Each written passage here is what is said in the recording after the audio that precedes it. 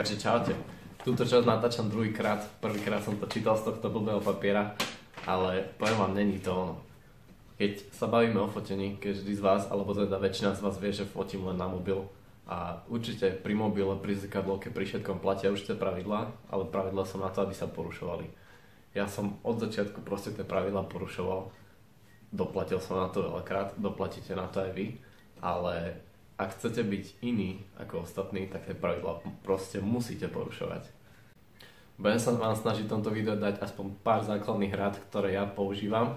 Vy si z toho môžete zobrať, čo chcete, ale nemusíte Hej, každý buďte originál. Toto sú veci, ktoré ja používam pri fotení. Grid, alebo teda tie mriežky.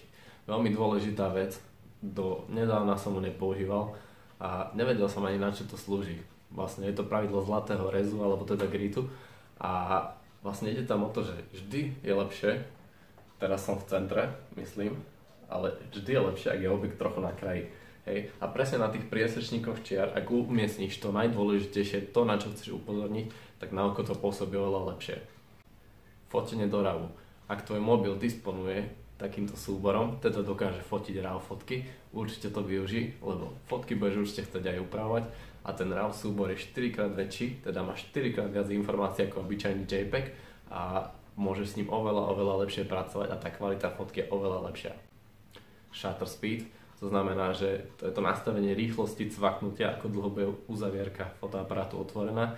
Čím nižšie číslo, tak tým rýchlejšie cvakne, tým pádom tým ostrejšia snímka pri rýchlo pohybujúcich sa predmetoch, zvieratách, ľuďoch, proste hocičom. Čím vyššie číslo, tak tým potrebuješ buď pevnejšiu ruku alebo statív a napríklad také 10 sekundové expozície využiješ pri nočnom fotení, čo je úplne super veľa z mojich fotiek je vlastne dlhá expozícia nočná, dajú sa robiť aj denné, ale to je trošku úplne iná liga a o tom si budeme rozprávať na budúce. Vec ako vyváženie bielej, riešiť či neriešiť.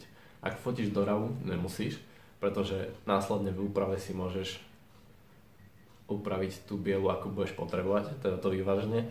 Ak do ravu nefotíš, tak určite to využij, ale ako ti neporadím. Pri každej situácii je to niečo iné, je to strašne strašne komplikované vysvetliť len tak, teda aspoň na mňa. A určite to niečo, s čím by si mohla experimentovať. Ďalšou z vecí, ak chceš, aby tvoje fotky boli úplne ako tie od ostatných, je uvedomiť si, že veľa z toho, čo tu na svete už bolo odfotené. Bolo to odfotené 100 tisíc milión krát a to, či bude tvoja fotka iná, záleží to, či ju odfotíš inak. Všetko sa dá odfotiť tým istým spôsobom, ale existuje jeden jediný iný, alebo teda existuje viac, ale existuje určite minimálne jeden spôsob, ako to odfotiť, ako to nikto nikdy neodfotil. Keď to tak odfotíš, tak tvoja fotka bude určite stokrát lepšia. Ak fotíš pri slnečnom počasí a tvoj objekt sa nachádza oproti slnku, nezabudni použiť režim HDR, ktorý mobily dnes už disponujú a radšej podpal ako prepal. Čo to je? Prepal je strašne osvetlené niečo, podpal je strašne tmavé niečo. Vysvetlím ti to v tom, že keď upravuješ následne fotku a máš niečo strašne, strašne prepálené, to sú také tie biele flaky na oblohe, tam, kde sa nachádza slnko, s tým už nikdy nič nespravíš, ani pri rave. Málo kedy sa ti podarí z toho vyťahnuť pár informácií, ale ak máš niečo moc tmavé na fotke, postprodukcii, teda v úprave fotky sa s tým vieš veľmi dobre vyhrať a dá sa s tým spraviť čokoľvek a pár takých fotek nájdeš aj u mňa na Instagrame.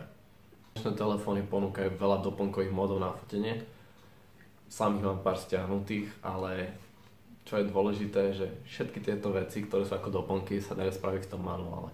Ak máš ten manuálny režim, tak vieš si to tam všetko nastaviť. Samozrejme v tom doplnkovom režime to je jednoduchšie, lebo ti to samé spraví, ale tá kvalita fotky častokrát nie je taká, ako by mala byť. Úplne top, top, najdôležitejšou vecou pri fotení, podľa mňa, je rob to podľa seba Proste nesnaž sa kopírovať niekoho iného, nájdi si svoj vlastný štýl, nájdi si tak, jak ťa to baví, tak, jak sa ti to páči a hlavne fotka podľa mňa není niečo, s čím idem, aby som ukázal, ako to tam reálne vyzerá, ale aby som ukázal to, ako to tam ja vidím. Čiže nesnaž sa cvaknúť presnú tú realitu, ale snaž sa cvaknúť to, čo tam vidíš v tej chvíli ty. Hej? Čiže a práve tými nastaveniami sa môžeš tomu približiť.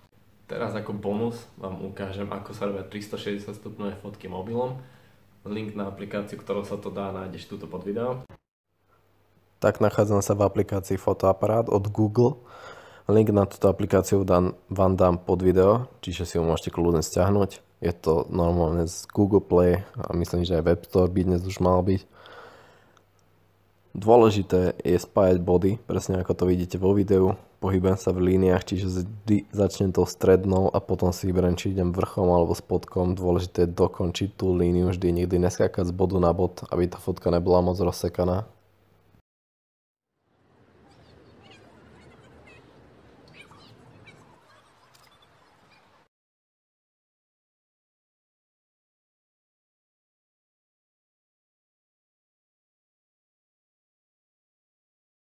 Následne, keď sa táto sférická fotka spracuje, je na tebe, že čo si vybereš.